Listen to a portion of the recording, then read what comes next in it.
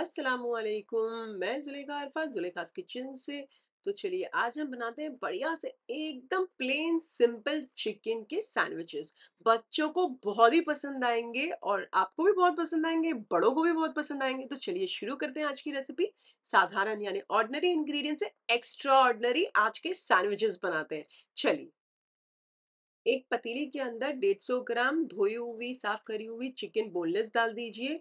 पानी पौना या आधा कप डाल दीजिए, मैंने पौना डाला है। चुटकी भर नमक डालिएगा और एक छोटा चाय का चम्मच अदरक लहसुन का पेस्ट डालकर सबसे पहले चला लीजिए, चूल्हा फास्ट आँच पर चालू कर दीजिए और उसमें उबाल आ जाने दीजिए। अच्छा उबाल आ जाए तो उलट पलट करके इसे एक बार उलट पलट कर दीजिएगा और इसे ढक कर स्लो आँच करके इसे पकने दीजिए, तब तक पकाएँ जब तक चिकन गल नहीं जाती। चलिए, ये साइड पर आप ब्रेड देख सकते हैं। ब्रेड को क्या करना है? जब तक चिकन पक रही है, यहाँ साइड के जो कट्ठे हैं, इस तरीके से छुरी की मदद से निकाल निकाल कर साइड पर रखते जाएँ। ऐसे ये देखिए, सारे बन गए ना? चलिए, कुछ देर बाद ये देख लीजिए, इसमें पानी है थोड़ा बहुत, ग्रेवी दिख रही है आपको तो चूल्हा फास्ट आँच कर उसे सुखा लीजिए, इस तरीके से बार बार चलाते रहिएगा। चिकन आप चेक कर लीजिए, गल गई है कि नहीं? तो ये देखिए, मैं देख रहे हैं आप, मैं तोड़ते जा रही हूँ मतलब चिकन टूट रही है आसानी से मतलब गल चुकी है। इसे ऑल द मोस्ट ड्राई कर लीजिए। यूजुअली मैं हमेशा पूरी तरीके से ड्राई नहीं करती हूँ बट आप चाहें तो पूरी तरीके से ड्राई कर सकते हैं। बस एक टेबल स्पून जितना पानी है तो मैं चूल्हे को कर देती हूँ बंद और इसे कंप्लीटली ठंडा हो जाने दीजिए। कंप्लीटली ठंडा हो गया तो मैंने एक प्याले में निकाल लिया इसे। अब इसे श्रेड कर लीजिए। जितना आप अच्छे से श्रेड कर पाए, एकदम बारीक बारीक श्रेड कर लीजिएगा। एकदम मोटे मोटे पीस मत रखिएगा। बहुत अच्छा बारीक श्रेड कर लीजिए, ऐसे आप देख सकते हैं, बहुत ही अच्छा बारीक श्रेड कर लिया है मैंने। अब इसमें डाल दीजिए वन फोर्थ छोटे चाय का चम्मच काली मिर्चों का पाउडर बहुत अच्छे से मिक्स कर लीजिए।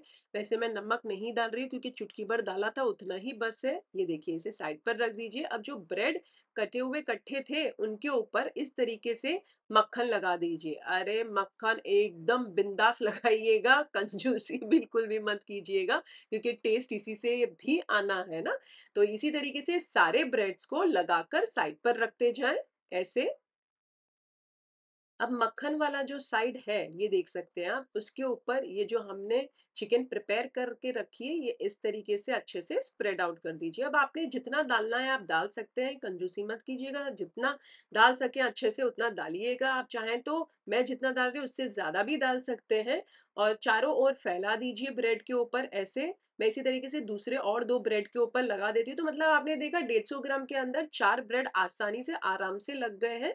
चिकन सैंडविच बन गए हैं। अब आप देख सकते हैं, चारों ओर फैला देती हूँ मैं यहाँ पर भी और जो बचा कुछ है वो सारे में डिस्ट्रीब्यूट कर दीजिए और ये देखिए, चारों स्प्रेड आउट कर दिया और ये जो अब मक्खन लगा हुए ब्रेड है, इन्हें उससे ढाक दीजिए ऐसे। चलिए, अब इसे बीच में से काट लीजिए तो आपको इस तरीके से त्रिकोण यानी कि ट्रायंगल शेप मिल जाएगा और ये आप देख सकते हैं, बढ़िया से प्लेन चिकन सैंडविचेस रेडी हैं। इसे आप सर्व कीजिएगा टमाटर सॉस यानी कि टमाटर केचप के साथ या फिर आप चिली सॉस के साथ भी सर्व कर सकते हैं। बहुत ही बढ़िया और मज़ेदार से बनते हैं। अब आप इसे प्लेट के अंदर डालें। मैंने ये देखिए एक तरीके से ये यहाँ पर मैंने बताई है दो टाइप की प्लेटिंग। इस तरीके से आप डालें। थोड़ा सा मैं हमेशा कोथमीर यानी कि हरे धनिए से डेकोरेट करती हूँ और ये मैं सर्व कर देती हूँ। बस इसमें आपने ये रेसिपी में यही ख्याल रखना है कि आपने मक्खन बहुत अच्छे से लगाना है। अच्छा मैंने बोलने से इस्तेमाल किया है ये वाली चिकन की रेसिपी सैंडविच के लिए। आप चाहें तो विद बोन्स भी ले सकते हैं।